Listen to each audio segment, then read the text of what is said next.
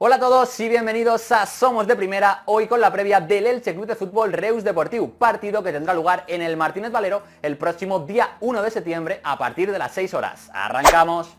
Y vamos a arrancar como hacemos habitualmente hablando del Elche Club de Fútbol. Si las demás semanas han sido bastante moviditas, esta semana no iba a ser menos y lo cierto es que también ha habido bastante movimiento. Tenemos que repasar primero el tema salidas, ya que Claudio Medina, el que llegara esta misma temporada procedente del Sporting de Gijón, pondrá rumbo al Mirandés, aunque eso sí, es importante señalar también que podría volver en enero si el conjunto licitano lo viera necesario y también tenemos que hablar del caso de Collantes, un hombre que se dejó bastante claro desde el principio que no contaba para Pacheta y que finalmente pondrá rumbo a Lucam de Murcia, equipo en el cual estuvo hace unas temporadas. Después tenemos que hablar de fichas, a ver si la semana que viene ya conseguimos no hablar de, de, fichas, que parece que sí, pero aún a día de hoy hay tres jugadores en plantilla que no disponen de la ficha necesaria para jugar en esta segunda división. El primero de ellos es Borja Martínez, el extremo alicantino, actualmente eh, no tiene ficha, aunque parece que en las próximas horas eh, la va a tener de forma oficial. A día de hoy, cuando estamos grabando el vídeo, no lo tiene, pero puede ser que estéis viendo la previa y que ya, y que ya la tenga y que incluso pueda estar contra, contra el Reus.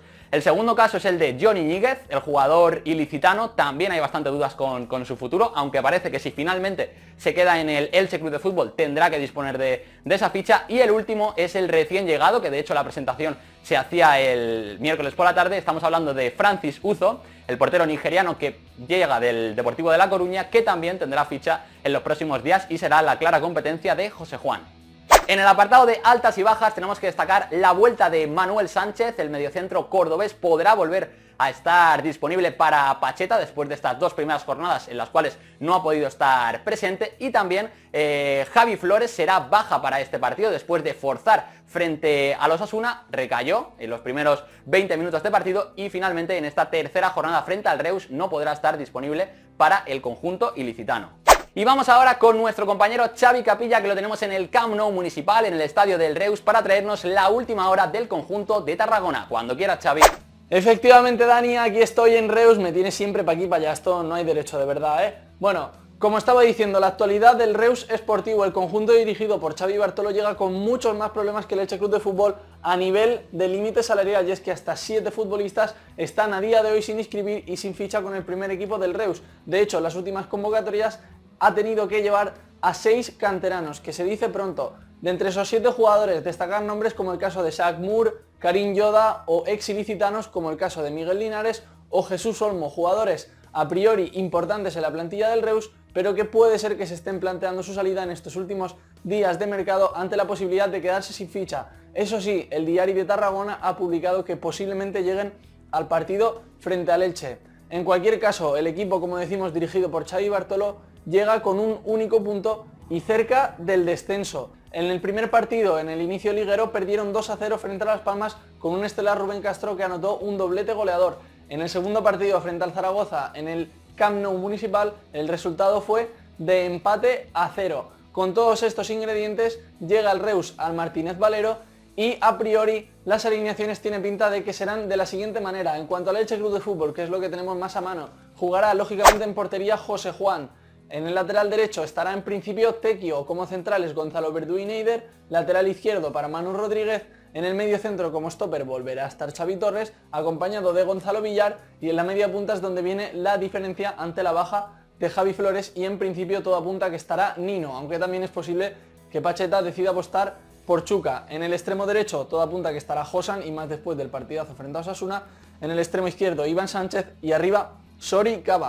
En el caso del Reus Sportivo, Xavi Bartolo seguramente alinee, como viene haciendo en las últimas jornadas, en portería Edgar Badía, en la derecha Bastos, en el centro de la defensa en principio estará Villanueva, acompañado por Catena, como lateral izquierdo Herrera, centro del campo para Ortiz y Gustavo, extremo diestro para Carbonell, media punta para Domínguez, extremo izquierdo para Planas y arriba el máximo goleador del equipo en la pretemporada, Fran Carbiá. Repasadas las alineaciones, Dani, devolvemos la conexión para que nos traigas lo mejor de los enfrentamientos que han tenido lugar entre el Club de Fútbol y Reus Sportiu. Pues sí, Xavi, vamos a pasar ahora a la historia entre el Elche Club de Fútbol y el Reus Sportiu, destacando los dos últimos encuentros. El primero de ellos fue en el Camp Nou Municipal, el estadio del Reus, un partido que se decantó con victoria franjiverde con un solitario gol de Guillermo, jugador que actualmente milita en el Numancia. También como dato interesante es que en aquel entonces el técnico franjiverde era Alberto Toril. Después, el segundo enfrentamiento que tuvieron el Elche Club de Fútbol y el Reus fue en el Martínez Valero y fue un empate a uno, un empate a uno bastante agridulce para el conjunto franjiverde ya que nos estábamos jugando la salvación, una salvación que lamentablemente eh, no pudimos conseguir, pero como dato importante tenemos que destacar que Soricaba conseguía marcar su primer gol de forma oficial. La firma del Elche Club de Fútbol Reus Sportiu la pone Xavi Capilla. Mi firma para el Elche Reus es la siguiente. El Elche Club de Fútbol está obligado a ganar. Hay que hacer buenos los dos puntos cosechados ante equipos fuertes como son Granada y Osasuna y recibir a un Reus que a priori estará en la parte baja de la clasificación y además llega con problemas salariales hasta el punto de que siete futbolistas están en una situación de incertidumbre, son ingredientes más que suficientes para confiar en un Elche Club de Fútbol que además ha dejado buenas sensaciones tanto frente al Granada como frente al Osasuna. Lo dicho, los dos empates de las primeras jornadas serán buenos si se suman los tres puntos, serán malos si no ese es el caso. La firma por Xavi Capilla. La firma del Elche Club de Fútbol Reus Sportiu la pone Xavi Capilla. Y hasta aquí la previa del Elche Club de Fútbol Reus Deportiu, partido que como decimos tendrá lugar el próximo 1 de septiembre a partir de las 6 horas en el Martínez Valero. Si os ha gustado el vídeo ya sabéis que podéis apoyarnos con un like, podéis suscribiros que siempre nos anima bastante, podéis comentarnos porque nos encanta leeros y nos vemos en siguientes vídeos. Muchas gracias y mucho Elche.